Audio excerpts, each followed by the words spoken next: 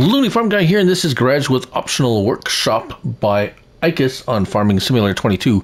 It's for all platforms, PC, Mac, and console. I'm on PS5 here on the Rock Crawl map for this little test and demonstration of these two placeables.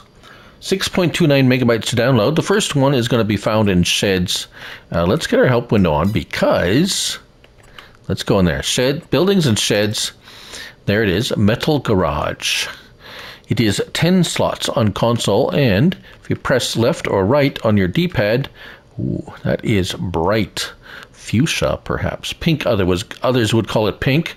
Uh, you can get a variety of colors for the. Uh, I'm going to say the cladding, uh, well, uh, the roof, the metal bits, shall we say? The metal bits, maybe? Although that bottom doesn't look like. Anyways, you can change the color like so.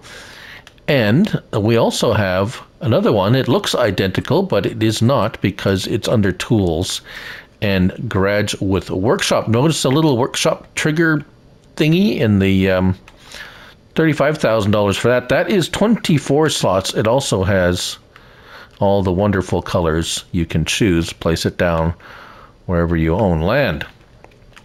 Right, so the garage itself is pretty basic and simple. You can open the doors. It's got a nice open area. We have a light switch here. Press circle. Lights up inside and out. Although it doesn't look like it's on, it does light up the front of the building quite nicely. And over here, the inside's a little different. We have a bit of a workshop area. Now I've uh, put a vehicle in here. As you can see, here is the trigger we have uh, customize and repair only, so no repainting or selling of the vehicles. There is your options, also a light as well. Nicely lit, although it seems less lit on this side. I don't know why. I guess you need more light. Well, yes, see, there's only three lights over there. And we have, well, three, four, maybe. Anyways, oh, I think this is adding some light. Anyways, there you have it. Graduate optional workshop.